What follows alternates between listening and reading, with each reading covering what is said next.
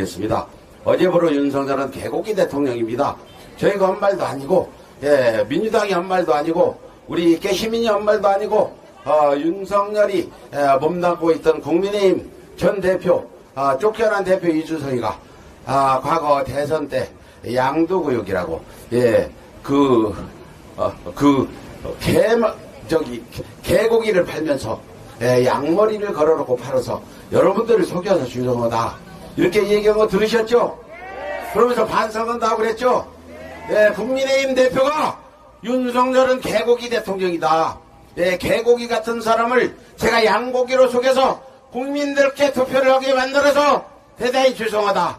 그러니까 우리 구 한번 읽겠습니다. 개고기 대통령 윤석열은 퇴진하라! 퇴진하라! 퇴진하라! 개고기는 물러나라! 물러나라! 물러나라! 다시 한번 오늘부터 윤석열은 개고기 대통령으로 명명하겠습니다. 이건 저희가 한 게 아니라 이준서이가 딱 꼭 집어서 얘기했으니까 앞으로 이제 어 저기 선피켓에도 개고기 윤석열은 퇴진하라 이렇게 쓰기도 하고 그렇습니다. 부산 시민 여러분 개고기 대통령 찍어서 나라가 이 지경 됐으니까 윤석열 혹시 찍으신 분들은 예, 반성하세요. 저희 서울의 소리가 3년 동안 윤석열의 저와 장모 비리 양계택에 저벌게 사고 산 윤석열 그렇게 알려서 MBC, KBS, 에, 네거시 미디어들이 다 보도를 했음에도 불구하고 여러분들은 국민의힘이 좋아서 찍었는지 윤석열이가 좋아 찍었는지 그 소리는 빈 건지 얼굴이 예뻐서 찍었는지 어쨌든 결과는 개고기 대통령을 만들었습니다. 다시 한번 부산 시민들께 간곡히 호소드리겠습니다. 지금 분들은 특히 윤석열 퇴진운동에 참여해서 여러분들이 책임지세요.